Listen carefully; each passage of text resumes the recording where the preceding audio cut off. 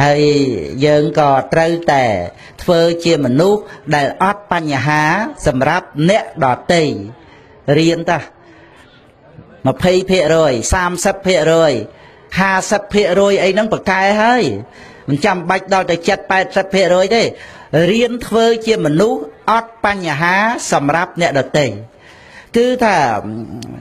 កុំកុំកុំជាមនុស្សចង្អៀតចង្អល់កុំជាមនុស្សខ្វាយខ្វល់កុំជាមនុស្សស្មុគស្មាញគឺ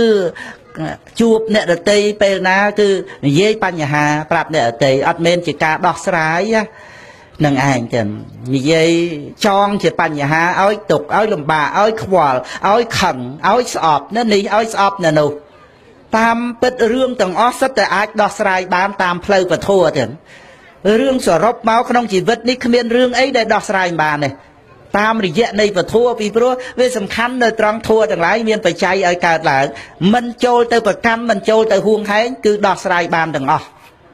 ដូច្នេះគឺយើងនិយាយជាការដោះស្រាយបញ្ហា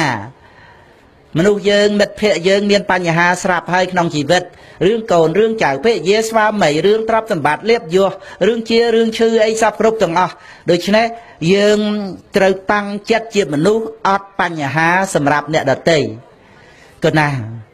នឹងឯងរឿងរឿងគ្រប់រឿងទាំងកុំឲ្យ ជាអ្នកបង្កើតបញ្ហាឲ្យអ្នកដតីຕົកលំបាកមានតែជួយដោះស្រាយបញ្ហាទីបំផុតយើងត្រូវសบายចិត្តជួយអ្នកដតីបានសบายចិត្តណាណារឿងខ្លះរហូតដល់ទៅដល់ថ្នាក់សង្គ្រោះជីវិតចាប៉ុន្តែយើងរៀនតាំងទៅពីរឿងតិចតួចទៅគ្រាន់តែទូទានអីចាប់กระដាស់ហុចចែកគ្នាទៅថាតិចតួច ប៉ុណ្ណឹងក៏យើងធ្វើទៅរឿយរឿយទៅបើមិនសบายចិត្តសន្សំរឿងសบายចិត្តឲ្យច្រើនរឿងទៅវាច្រើនហើយគឺណាមិនមែនយើងធ្វើតែមួយមុខនឹងឯណា